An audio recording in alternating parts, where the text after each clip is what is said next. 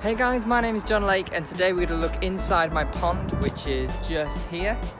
Uh, so I've got all sorts of cool wildlife in it and really kind of abstract animals that you might have in your pond at home as well, so stay tuned.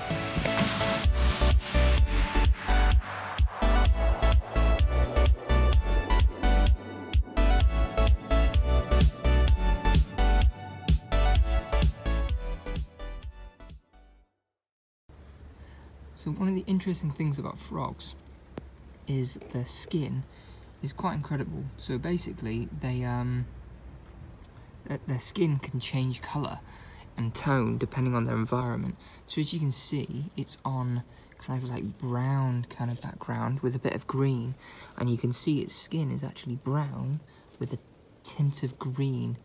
Um, so that is actually its skin changing colour to the environment that's around. Also, you can see the little ridge on its back. So they're joints. So those joints are what gives it the spring-loaded effect. Right, so this is super interesting. So we've got an elastic band here. So a frog's legs is kind of like these. So if you think how an elastic band works when you try and flick it and you try and fire it at somebody. So the tension comes from pulling it back and you let it go. And then the release of pressure uh, that's what makes the ba- elastic band go forwards. Now, if we try and throw it at that speed, we try and use all the energy throwing forwards, try and get the same speed, we won't be able to get anywhere near the same speed that we can by pulling it back. Also, we're using less energy by pulling it back, so it's more proficient in the way that it uh, it uses energy, and that's why frogs, when they pull back, so you see the the ridge on their back just goes up like this, like kind of like my knuckles here, like it goes up like a triangle. And that's basically them pulling their legs back like an elastic band.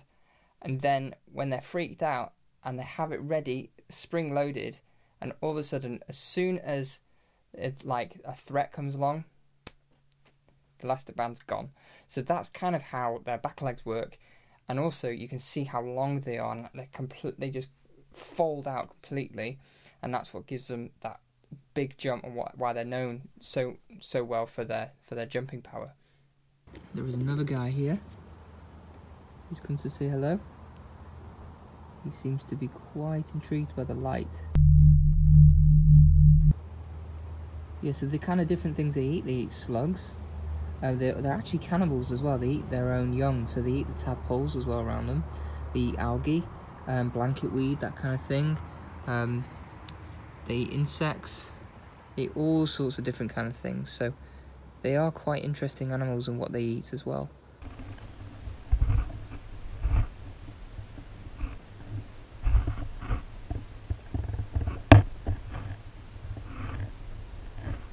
So here I've just circled uh, this little creature, and you probably think, what on earth is that?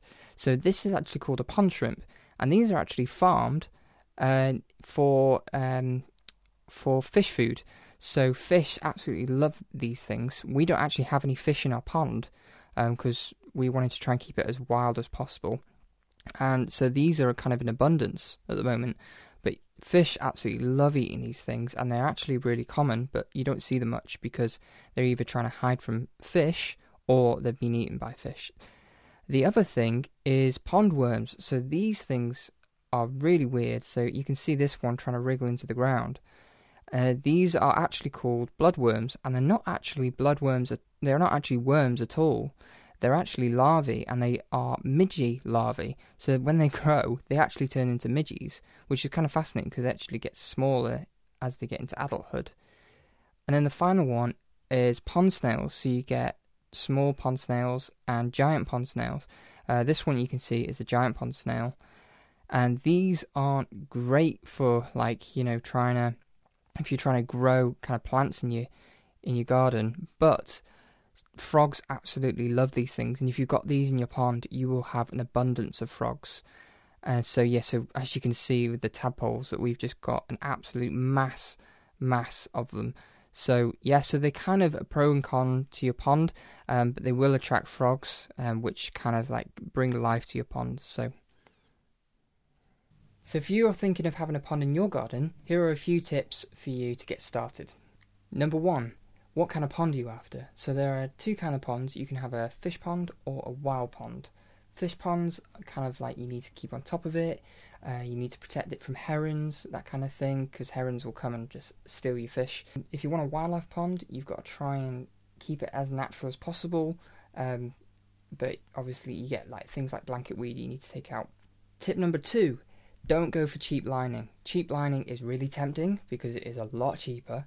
However, if your lining rips at any point, your whole pond's going to drain, and that isn't what you want at all. A draining pond, a leaking pond, is very difficult to fix. And in fact, you have to take the whole lining out to in order to fix it. So when you first start, make sure you go for better, more expensive lining, and it will cause you much, much less like problems in the future. Tip number three: get a filter and a water feature. So these help your pond stay clean. Two reasons why you want a clean pond. First is you get to see what's inside it. You can see the wildlife. You can enjoy what creatures are actually enjoying your pond. And second, if you have a dirty pond, it will start to smell, and nobody wants a smelly pond in their garden. Tip number four keep on top of it. If you're in the summer, your pond might uh, have a little bit less water in it, so make sure you keep it topped up. Uh, otherwise, animals can tend to kind of leave and they don't want to come back because obviously the water's going. Uh, the other thing, you, if there's lots of gunk at the bottom, you want to. It's horrible, but every now and then you kind of have to get a bucket and scoop all the muck out of the bottom. Uh, it's an, a horrible job and it's gross, but it makes your pond look amazing. Uh, yeah, and also one way of avoiding that is getting a filter and getting a water feature because that means that the um, all the muck is going through the filter and it means it's cleaning it out. And make sure you change your filter every now and then, otherwise your filter will break, it will clog up, and it won't work and you've wasted money on a filter. Right guys, so I hope that was helpful for you. Uh, leave a like if you enjoyed this video, subscribe to keep up to date with our content. But most of all guys, make sure you're staying safe in this time of uh, coronavirus. And like I said, if you want to get a pond, um, garden centres are open in the UK, so if that's something you want to do, chat to your parents about it. Don't just go with a shovel into your garden and dig a hole like I did when I was a youngster It's not a great idea. Um, but yeah, go on, enjoy your garden, stay safe, and take care.